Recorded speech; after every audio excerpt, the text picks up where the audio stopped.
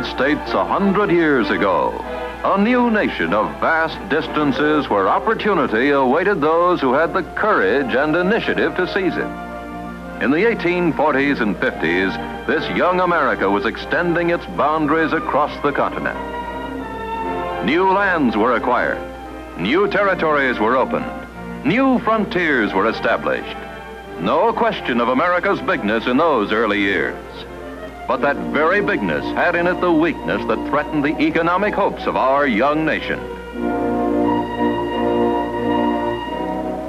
What good were these new hopes that beckoned across almost endless stretches of land when our people could reach them only by travel on horseback or covered wagon trains across vast prairies?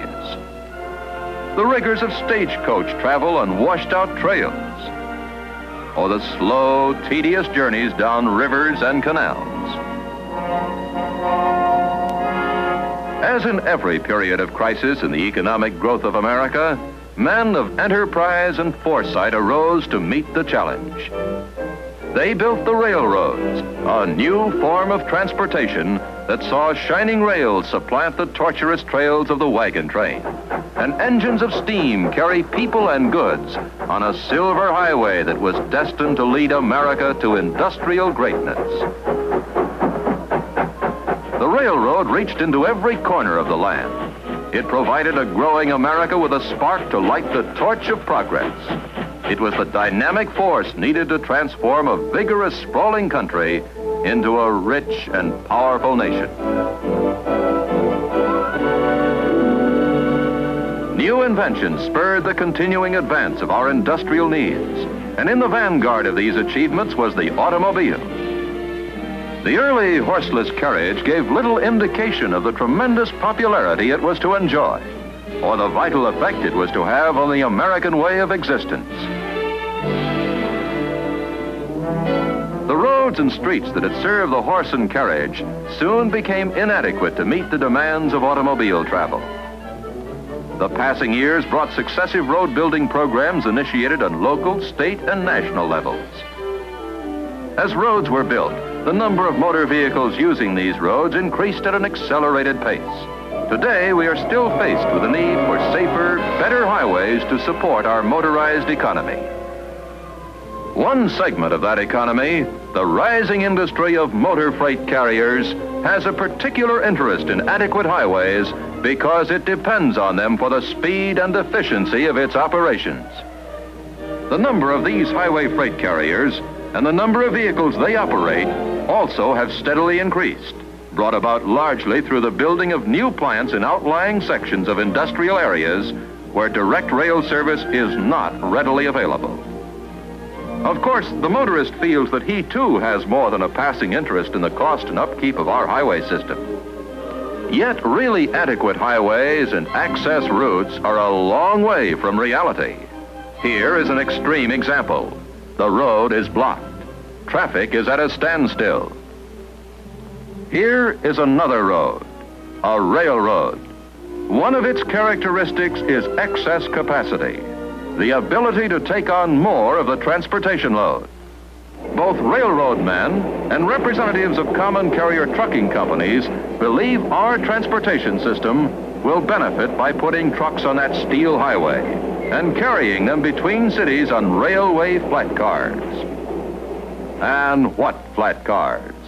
Giant new 75 footers that carry two large trailers each.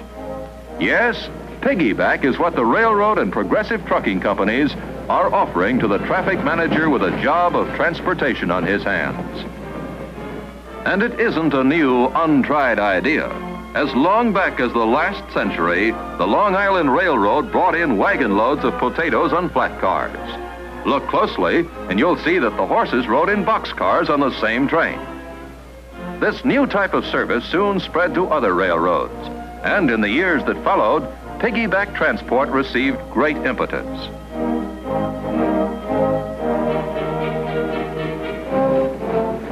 Some railroads offering this type of service have used and still use their own truck trailers. But the most dramatic recent growth has been in the type of piggyback transport available to common carrier truckers as exemplified by the Pennsylvania Railroad's truck train service.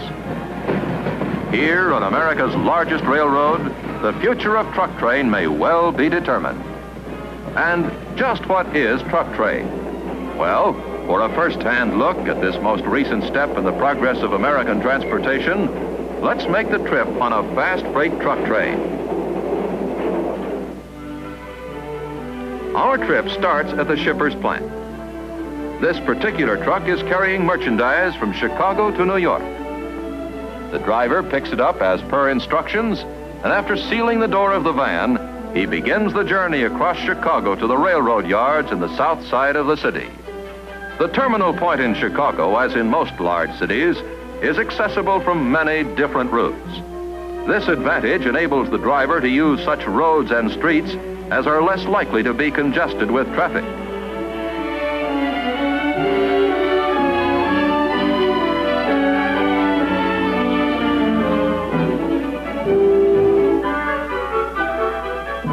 Upon arrival at the yard, the trailer is driven onto a scale where it is weighed to make certain it conforms to the required standards.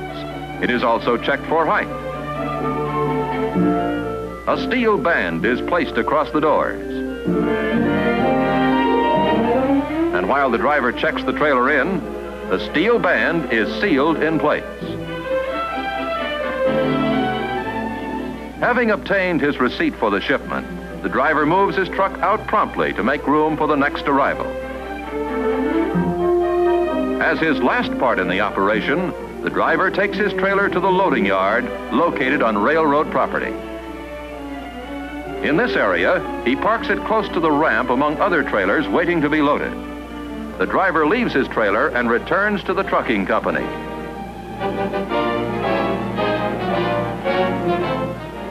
Flat cars are specially built for this service, each one large enough to hold two big trailers. Now, another driver hooks up to our trailer. He is a specialist in loading the trailer onto the flat cars and will place the trailer on the string of cars assigned to carry it to its destination.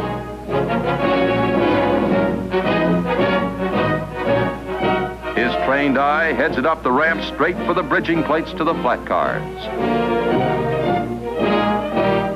then down along between the limits of the flat car railings. The tires roll straight to their mark. Wheel chocks are immediately placed to prevent movement of the trailer. And special supporting jacks are swung into position while retaining chains are tightened. Regular truck tractors may be used to load the trailers, or they may have the newly developed twin steering wheel.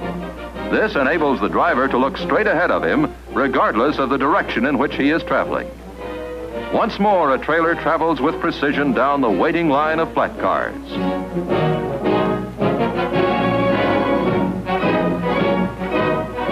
The hook of a retaining chain firmly grips the heavy guardrail as other wheel chocks slide snugly to the tires. With swift efficiency, the loading team is soon ready to move on to the next arrival for at loading time, the trailers pour in in a steady stream.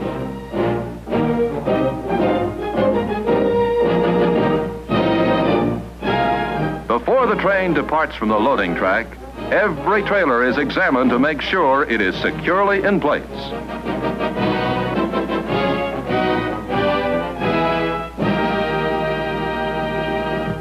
It is late Saturday afternoon in Chicago as this fast freight train pulls out eastbound for New York via Pittsburgh and Philadelphia.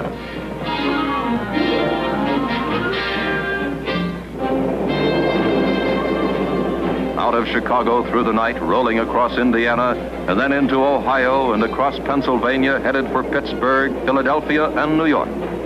Clear track ahead on its own all-weather roadway.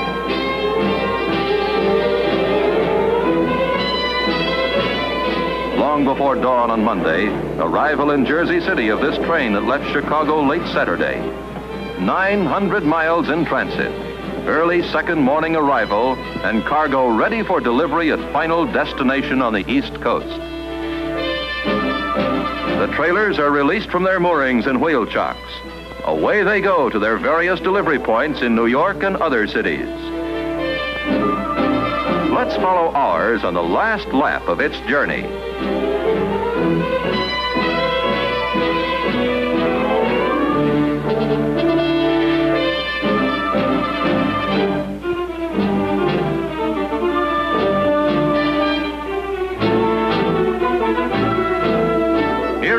at the receiving platform of the consignee in New York and ready for unloading. The last step in Operation Truck Train.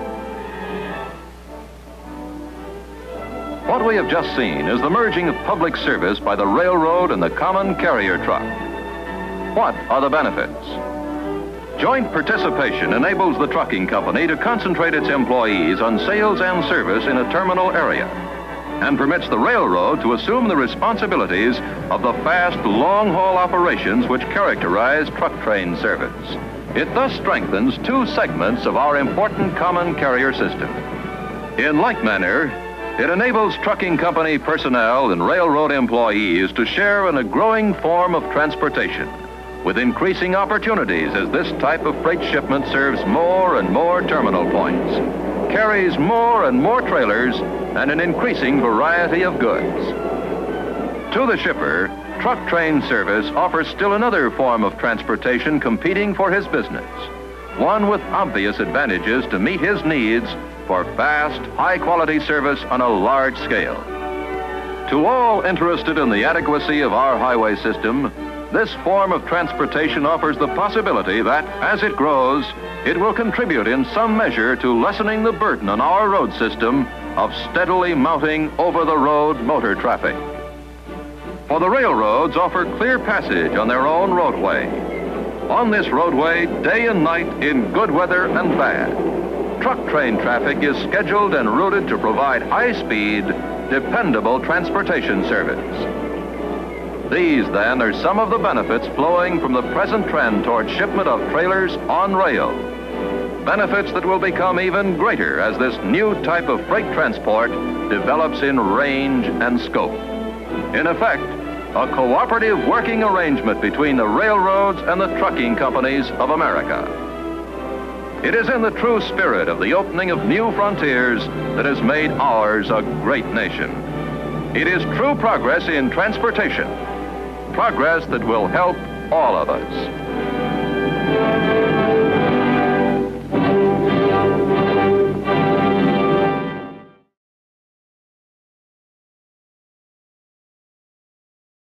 growing America with a spark to light the torch of progress. It was the dynamic force needed to transform a vigorous, sprawling country into a rich and powerful nation. New inventions spurred the continuing advance of our industrial needs, and in the vanguard of these achievements was the automobile. The early horseless carriage gave little indication of the tremendous these new hopes that beckoned across almost endless stretches of land when our people could reach them only by travel on horseback or covered wagon trains across vast prairies. The rigors of stagecoach travel on washed out trails or the slow, tedious journeys down rivers and canals. As in every period of crisis in the economic growth of America,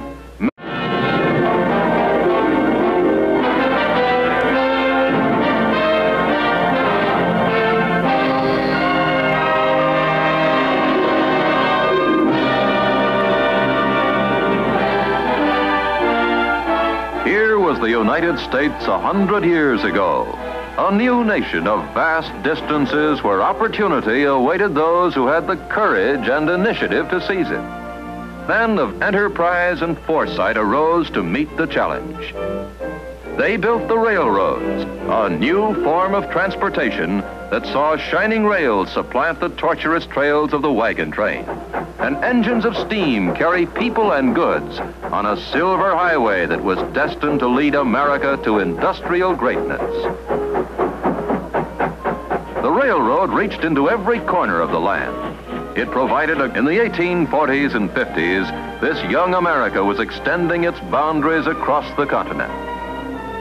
New lands were acquired. New territories were opened. New frontiers were established. No question of America's bigness in those early years.